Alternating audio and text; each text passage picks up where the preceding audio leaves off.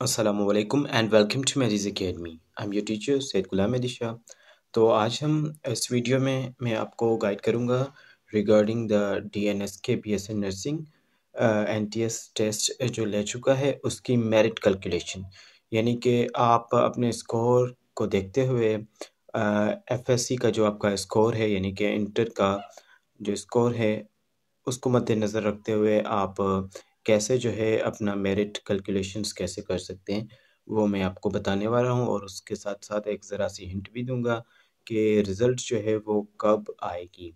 तो अमूमन result mostly ऐसा होता है कि 10 से 20 दिनों के अंदर आ जाती हो और मेरिट लिस्ट भी एक हफ़्ते से 10 दिन लेती है मेरिट लिस्ट लगने में फाइनल रिज़ल्ट आने में।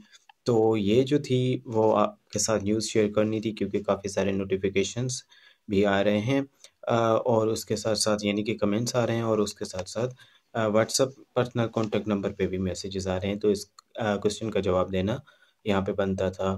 उसके बाद आएँगे अब जो एनटीएस टेस्ट ले चुका है, उसका कैसे मेरिट बनता है, किस तरह से एनटीएस जो है अपना मेरिट बनाती है, वो मैं आपके साथ शेयर करूँगा।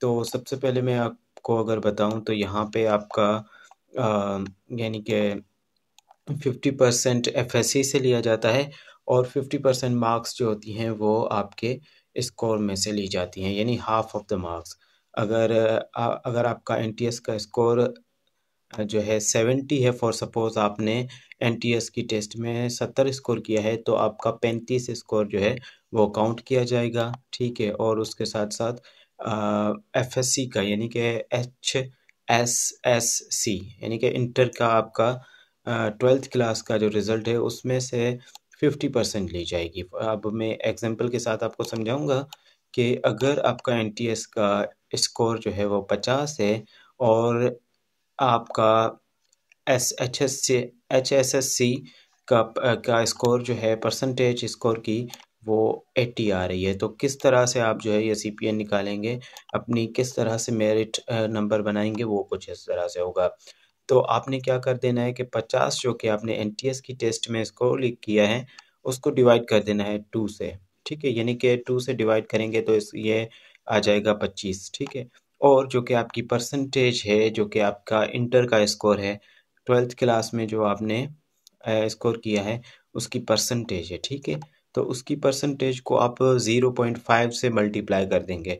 तो फॉर सपोज़ कोई स्टूडेंट है जिसने एन टी एस की टेस्ट में स्कोर जो है वो पचास किया है और उसका एट्टी परसेंट है एफ़ एस सी में मीन्स के ट्वेल्थ में, ठीक है?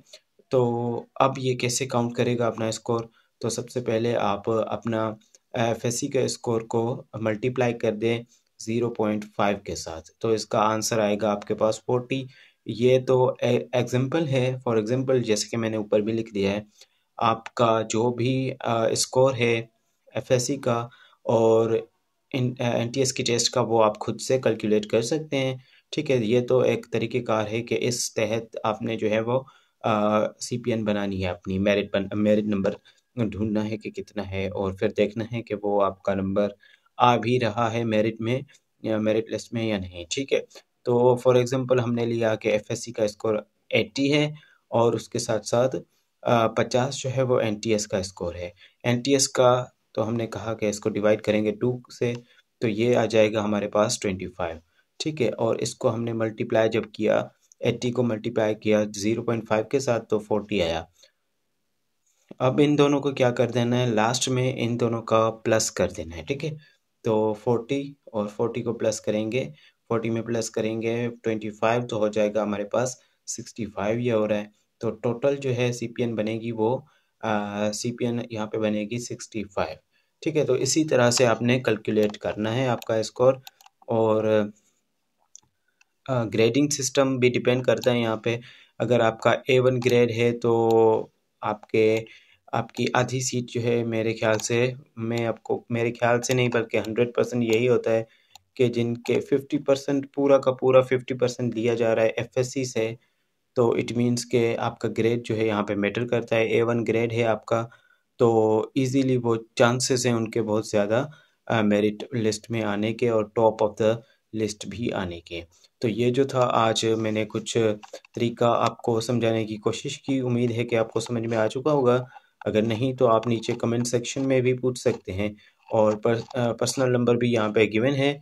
लेकिन कंप्लीट तरीक़ेकार जो है वो ये है, आपने एनटीएस के स्कोर का हाफ़ कर देना है और उसके साथ साथ एच एस की जो परसेंटेज आपकी बन रही है टोटल स्कोर की परसेंटेज जो बन रही है, उसको मल्टीप्लाई कर देना है ज़ीरो पॉइंट फाइव के साथ। जो आंसर होगा परसेंटेज का एफ़ एस सी की परसेंटेज का और एन टी एस का हाफ़ स्कोर जो है, इन दोनों को प्लस कर दें। ठीक है, इन दोनों को क्या करना होगा? प्लस कर कर देना है। लास्ट में जो आंसर मिलेगा, वही आपकी सी पी एन होगी। और मज़ीद अगर आप हेल्प लेना चाहेंगे तो आप कॉन्टेक्ट कर सकते हैं और वॉइस मैसेज छोड़ सकते हैं। इट विल बी एंटरटेन और आपको जवाब दिया जाएगा uh, कुछ ही घंटों में। तो आई होप कि ये कॉन्सेप्ट आपको समझ में आया होगा कि calculation merit calculation D N S के directorate of nursing in Karachi में कैसे होती है। तो मिलते हैं नेक्स्ट लेक्चर में। टेक केयर अल्लाह हाफिज़।